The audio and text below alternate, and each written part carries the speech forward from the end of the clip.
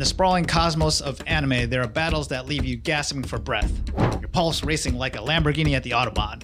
But then, there are those battles that leave you scratching your head, wondering what the hell the writers were thinking. What the hell were you thinking? Today, we're diving headfirst into the latter, dissecting the showdown between Buddha and Zerofuku in the anime Record of Ragnarok. The Buddha Zerofuku face off is a visual feast, no doubt about it, but when it comes to narrative, it's as satisfying as a diet soda all fizz, no substance. Instead of pushing the boundaries and challenging our perspectives, it sticks to the status quo like a barnacle on a ship's hull. You see, in the record of Ragnarok universe, Buddha is like the golden boy, the star quarterback, the prom king. He can do no wrong, but let's hit the brakes here. Is that fair? Is it right to put a character like that on a pedestal without giving his actions the third degree? Buddha is a global icon for peace and enlightenment in a kingdom where slavery is as common as bad weather in London.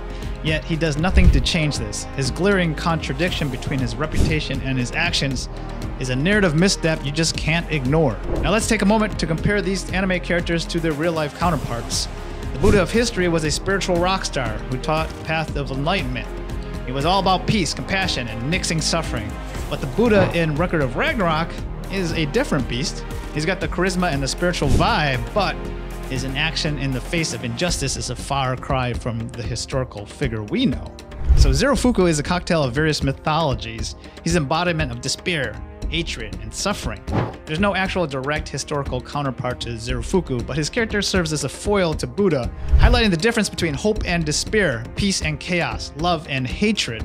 But let's for a second broaden the scope and look at the characters in the series. Record of Ragnarok is a veritable smorgasbord of historical and mythological figures, each with their own unique spin. For instance, Thor, the Norse god of thunder, is depicted as a warrior with an insatiable thirst for battle, in stark contrast to this is the more jovial depiction in other media, such as Lu Bu. A figure in Chinese history renowned for his martial prowess is portrayed with a sense of humor and loyalty that adds depth to his character. These characters like Buddha and Zerofuku are reinterpretations of historical figures and mythological figures, but they're not without their own set of contradictions and complexities. They serve as a reminder that Record of Ragnarok is a series isn't afraid to play with your expectations, to challenge your preconceived notions about these well known figures.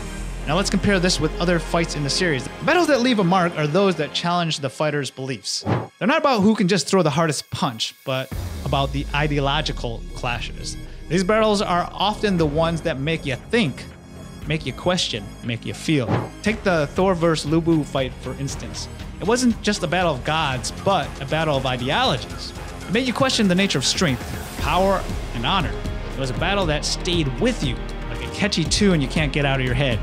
In short, the battle of Buddha versus Zerofuku, the fight for record of Ragnarok, is a missed opportunity, in my opinion. It could have been a platform for challenging norms, sparking a debate, for pushing the envelope, but instead, it's just glorifying a character without questioning his actions or beliefs. It's a spectacle for sure, but leaves you wanting more, craving the depth, complexity, and nuance that we've seen before in Record of Ragnarok. So the next time you're watching an anime battle, ask yourself, is this just a fight or is it a conversation? Because the best battles are the ones that make you think, challenge you, that force you to question your beliefs. The best battles, of course, are the ones that stick with you long after the credits have rolled. So what do you think of this fight between Buddha and Zerofuku? Let me know down in the comments.